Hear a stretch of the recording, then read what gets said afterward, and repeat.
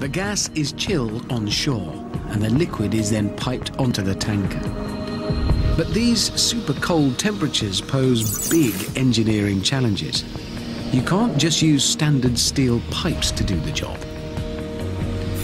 Moving the ultra cold liquid around the place, off the ship and around the ship on pipes like these, presented a whole new set of problems that could only be resolved by recourse to the engineering might of this, and of this, and even of this.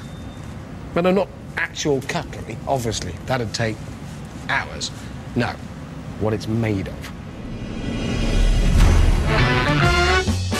Stainless steel. A hundred years ago, cutlery was made of other metals, silver, say, or plain steel for everyday tableware. But steel rusts, off-putting at dinner, and like many materials, it changes completely when you put it in the deep, deep freeze.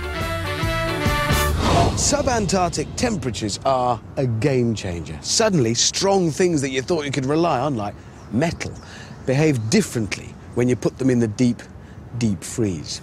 It's all about ductile to brittle transition temperatures, which is how the properties of things change with temperature. An example, bread. At room temperature, slice of bread is bendy, flexible, ductile in the jargon. Take the same piece, freeze it, it's harder, but brittle. Wouldn't it be terrible if steel behaved the same way? It does. Jackie Butterfield, a materials specialist and steel consultant, introduced me to a medieval torture device. This is the sort of equipment that we'd use to test the toughness of a metal. Right, can I help? Absolutely. Oh, good. What are they? First thing you can do is lift this weight up and we'll lock it in position. Right, thank you. Okay, I always get the nice jobs. Right, so just swing this back, yeah? Yeah. Right. Just for the record, I'm not being a complete weakling. It is actually quite heavy. About 10 kilograms. So it's a fitness program. It is, absolutely. Okay. Right, so that's the weight is primed.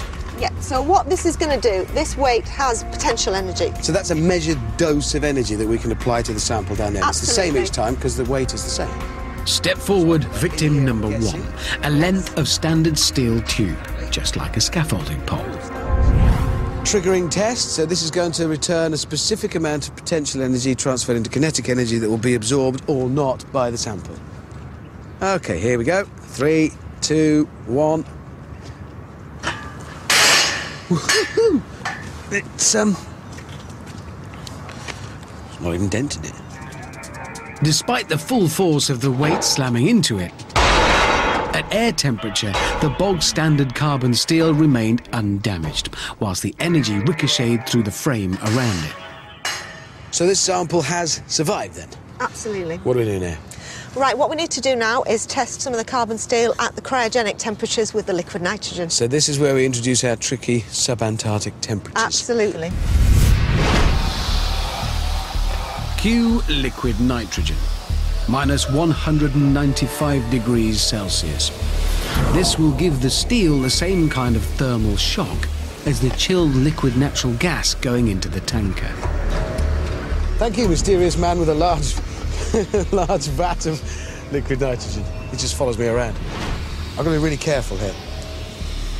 Goggles. Um, just put it in. Yep. So, the liquid nitrogen is going to be removing the heat from the steel. For how long do we have to leave that? Just for about 10 seconds, it should get down to the uh, to the right temperature. In 10 seconds, Yeah. that liquid nitrogen will have removed that much heat energy from the steel. Yes, it That will. quickly.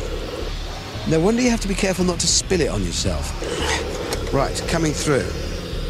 So the liquid nitrogen has dramatically lowered the temperature of the steel, just as the gas cargo would do as it's piped on board the ship.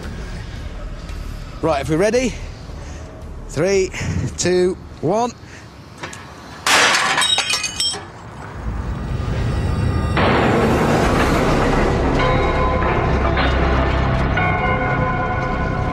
It's broken.